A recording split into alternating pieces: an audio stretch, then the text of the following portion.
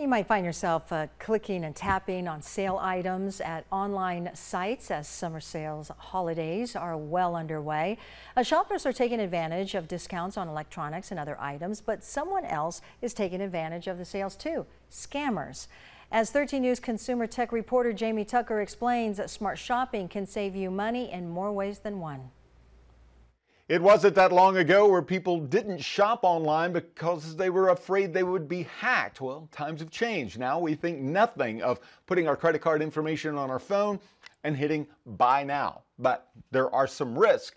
Scammers are hoping someone makes a mistake. Online crooks use a variety of tactics to trick you into handing over your credit card information. They'll use ads on social media imitating the websites of reputable companies. Don't trust any ads that offer insane prices at popular retailers. Their websites look identical. This is the real Vineyard Vines website. This is the fake one. Hard to tell the difference.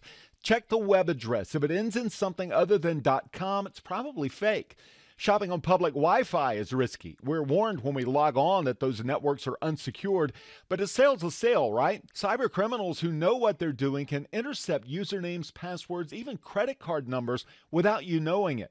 When shopping in public, use your cellular provider's network instead of public Wi Fi. And if you're using a laptop, turn on your phone's personal hotspot and connect to it. Use a VPN, a virtual private network, when you shop with a credit card online. Ignore the free apps, those aren't always safe. And this one is super important. Do not use a debit card when shopping online. Debit cards are connected directly to your bank, and if the number is stolen, you may not get your money back. Use a credit card or PayPal that will protect your purchase. And this is important review your bank and credit card statements. That's what the tech, Jamie Tucker, 13.